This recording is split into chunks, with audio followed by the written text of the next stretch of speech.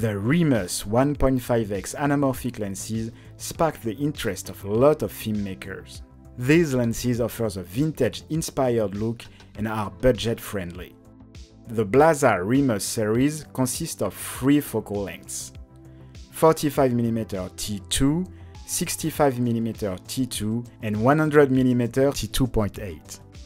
All of these lenses are designed to cover full frame sensors. If you bought the full set, you could see that the case had an extra hole for upcoming lens.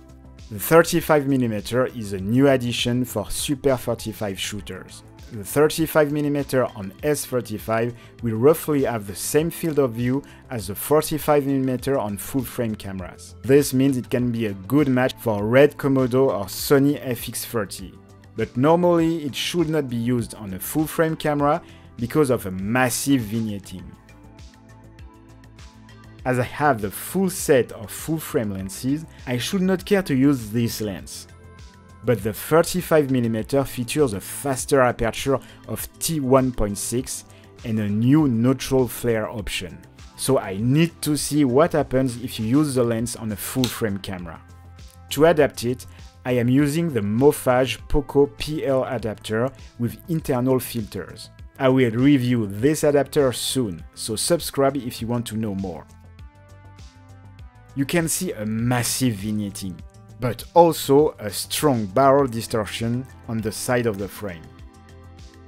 So after some research, I found a way to use this lens on a full frame camera without cropping the footage.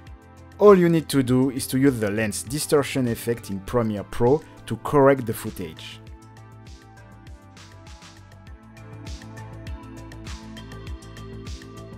The before and after is really impressive.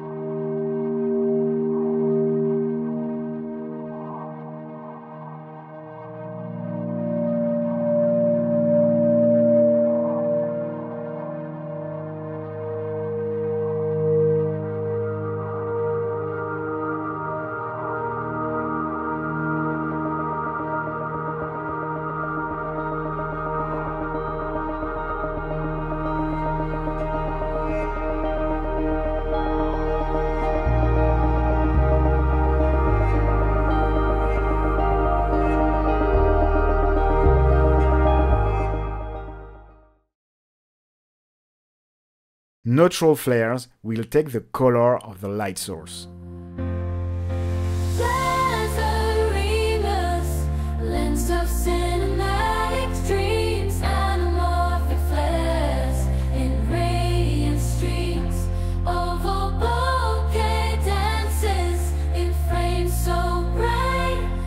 By using a front diopter, you can use the lens as a macro lens and get some really nice bokeh magic image, frame it in parts.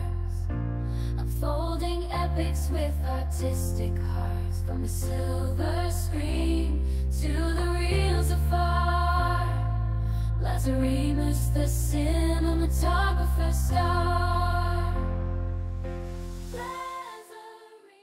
For me, it's a weird choice to make this S35 lens part of the full frame lens series it should be the first of a new series aimed at S35. And maybe this is the plan. Blazar should release new anamorphic lenses very soon, so I hope to have the chance to review the newcomers.